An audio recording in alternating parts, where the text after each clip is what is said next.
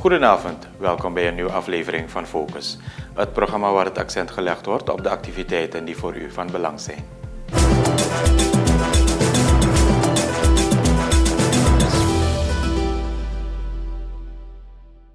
Vandaag in Focus. Regering voert overleg met actoren uit de reissector. Aanpassen ziekenhuislichtdagtarief heeft aandacht van de regering. Ministers en importeurs voeren constructief overleg. Ondernemer Clifton Schubert bouwt vijftal openbare toiletten in de binnenstad. Meteoroloog Kasmani belicht weersverwachtingen voor de komende periode. En jongeren en adolescenten moeten zich kunnen uiten over mentale issues.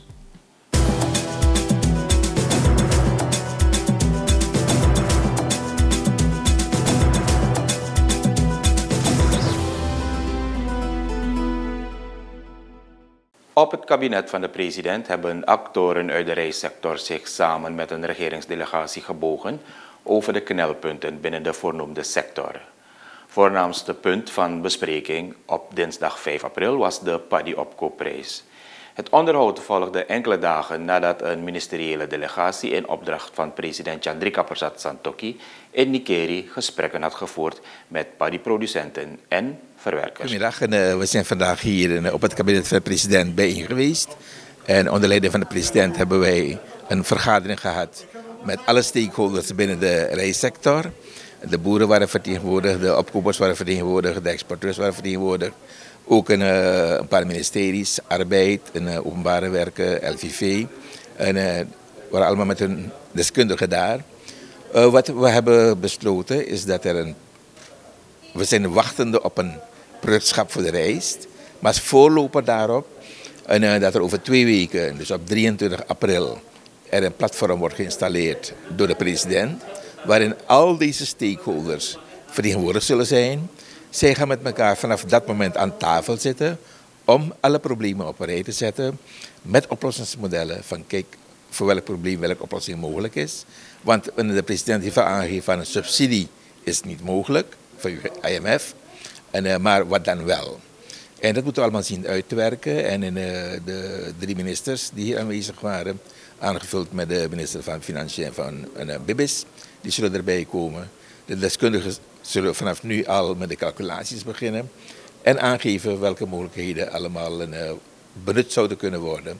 Maar denk, we denken meer inrichten van uh, voor die grondstoffen en die hulpmiddelen. En, uh, misschien dat wij wat nog niet vrij wordt geïmporteerd, dat wij dat en misschien die regelingen gaan treffen. Dat zijn de enige mogelijkheden die er zijn. Voor de rest is het te werken aan de efficiëntie. En, uh, waarbij dan wij met elkaar aan tafel zullen zitten van hoe kunnen we meer efficiëntie uh, brengen in de productie van paddy. En dat heeft natuurlijk een, uh, met een aantal dingen te maken. Vanaf grondbewerking, watervoorziening, bemesting, noem maar op, betere rassen. Het zijn allemaal zaken waar we aan gaan werken en we hopen snel eruit te komen.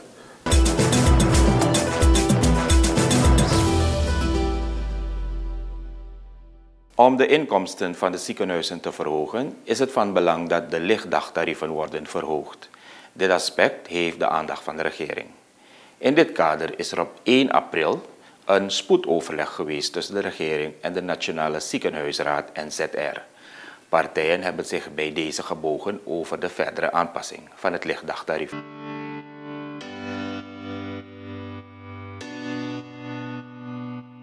De regering heeft op basis van haar verantwoordelijkheid en financiële mogelijkheden een voorstel gepresenteerd aan de NZR, die het voorstel nader zal bestuderen. Naast het voorstel is er ook gesproken over de strategie en de tijdlijn, waarin problemen binnen de zorgsector op een structurele wijze aangepakt zullen worden. De regering roept het zorgpersoneel op om de zorg te blijven garanderen. Zij geeft aan dat er concrete stappen gezet zijn om de inkomsten van de ziekenhuizen te verhogen. Thans wordt uitgekeken naar het besluit van de Nationale Ziekenhuisraad. De samenleving mag erop rekenen dat er alles wordt gedaan om de continuïteit van de zorg te garanderen.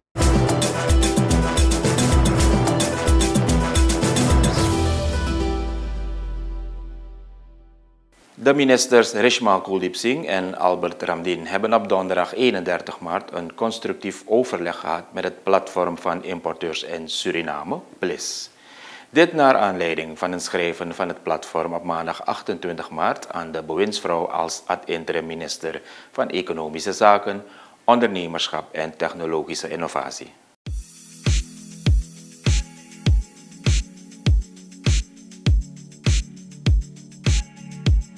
De reden van het overleg was de verontwaardiging van het PLIS betreffende acties van de Economische Controledienst ECD bij twee importeurs. Bij hen is er beslag gelegd op een partij zonnebloemolie. Het Openbaar Ministerie heeft na onderzoek besloten om de partijgoederen vrij te geven. Minister Kuldeep Singh benadrukt dat de ECD heeft gehandeld op basis van de situatie op het moment van de controle ingevolge de figerende wettelijke regelingen. De bewindslieden hebben het platform gevraagd om ondersteuning te verlenen aan de overheid, zodat de juiste prijzen door de consument worden betaald en er rust komt op het prijzenfront. Partijen zullen voortdurend in overleg blijven voor een efficiënte marktwerking en juiste prijzen voor goederen. Intussen zal de ECD haar controles onverkort voortzetten. Controle op de juiste winstmarges heeft namelijk ook de hoogste prioriteit van de regering.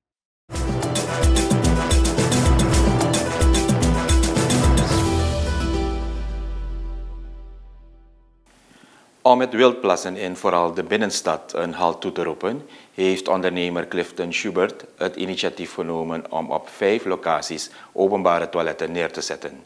Minister Riyad Noor Mohamed van Openbare Werken oriënteerde zich op maandag 4 april bij de eerste in aanbouw zijnde faciliteit. De samenwerking met de ondernemer is een public-private partnership en een win-win situatie voor de binnenstad.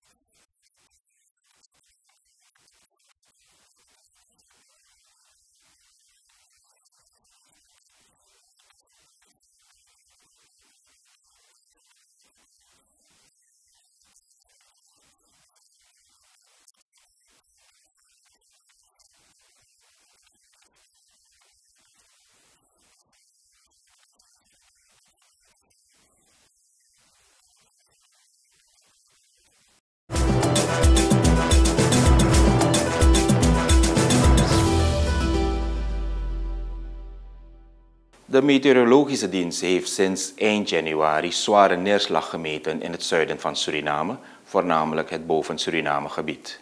Het verschijnsel van La Niña speelt hierin een belangrijke rol. Dit fenomeen kan 6 tot 12 maanden duren. Meteoroloog Lorenzo Casmani zegt dat La Niña zich in de huidige trend kan voortzetten.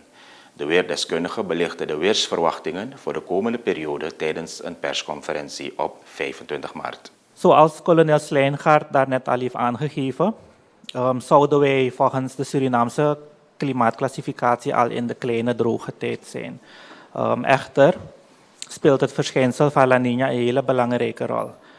Maar La Niña is niet alleen dit jaar, is niet alleen dit jaar. Hij is er, zij is er sinds vorig jaar met een afzwakking in oktober, zeg maar, en nadien is er weer een toename geweest.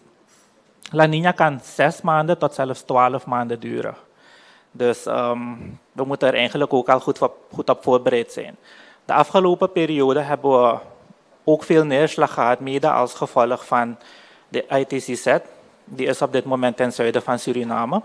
Er is een cross-equatoriale trog in ons systeem. En die is stationair gebleven. Wat betekent dat er meer convectie is gaan plaatsvinden in de atmosfeer. Meer convectie betekent natuurlijk ook meer regenval. We moeten ook rekening houden met onze zeewatertemperaturen. En um, er is ook het verschijnsel, de MJO, dat is de Madden-Julian Oscillation. De meteorologische dienst heeft eigenlijk sinds eind januari zware neerslag gemeten, voornamelijk in het zuiden van het land. Het gaat dan om de gebieden in het Lawag, de Tapanahoni, maar voornamelijk boven Suriname. Ik denk aan Kayana, Jumu en Laduani, waar er op dagbasis neerslag is gemeten van wel 95,7 mm. In maart en februari zijn de zwaarste um, intensiteiten gemeten of de zwaarste regenval tot zelfs 171,5. Dat is in het Tapanahoni-gebied. Um, volgens data van de waterloopkundige afdeling is ook het gebied in Marowijnen, of, of zijn enkele gebieden in Marowijnen getroffen door deze wateroverlast. Um, volgens hun data mag het waterpeil niet overschrijden van meer dan 4 tot zelfs 5 meters. Zij hebben echter data gemeten van 7 meters. Um, we hebben nu ook gemerkt dat het water langzaam aan het dalen is, vooral in het stuwmeergebied. Maar in het kustgebied, ik denk aan Saramaka, Nikeri, maar zelfs Koroni, daar hebben we ook veel neerslag gemeten de afgelopen tijd. Dus samen met het NCCR proberen we dan zoveel als mogelijk deze, de verweersverwachtingen op tijd te versturen en te publiceren naar de gemeenschappen en naar onze partners, zodat zij op hun beurt um, daar maatregelen kunnen treffen. Ten aanzien van de verwachting voor de komende periode uh, gaat La Niña nog een tijdje blijven, dezelfde trend blijft. Um, volgens de NOAA, dat is de National Oceanic and Atmospheric um, Association, gaat, neemt deze af in sorry. Um, de kans is dan wel groot dat de natte periode eerder zal eindigen. Wanneer de kleine droge tijd eindigt eigenlijk eind april. En dan begint de grote regentijd. Maar volgens klimaatdata blijkt dat deze zich misschien de normale trend zal aanhouden. Of misschien eerder zal, um, eerder zal eindigen.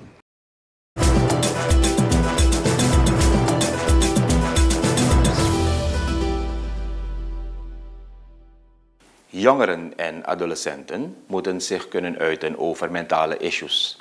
Dit kan ervoor zorgen dat de drempel naar professionele hulp verlaagd wordt, dan wel helemaal verdwijnt. Het voorgaande is op donderdag 31 maart naar voren gekomen tijdens de UNICEF Youth Convention on Adolescent Mental Health.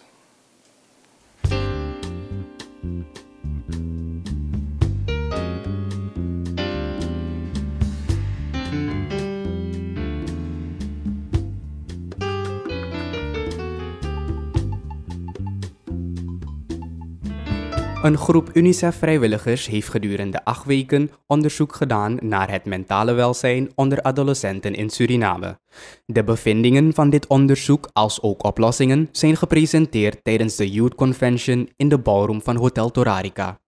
Uit de onderzoeksresultaten is gebleken dat taboe over het onderwerp en financiële belemmeringen de grootste uitdagingen zijn voor jongeren en adolescenten om naar professionele hulp te zoeken. First Lady Melissa Santoki Sinacheri, die tot de aanwezigen behoorde, maakt zich ook sterk voor mentale gezondheid. De presidentsvrouwen heeft in dit verband een goede samenwerking met de UNICEF.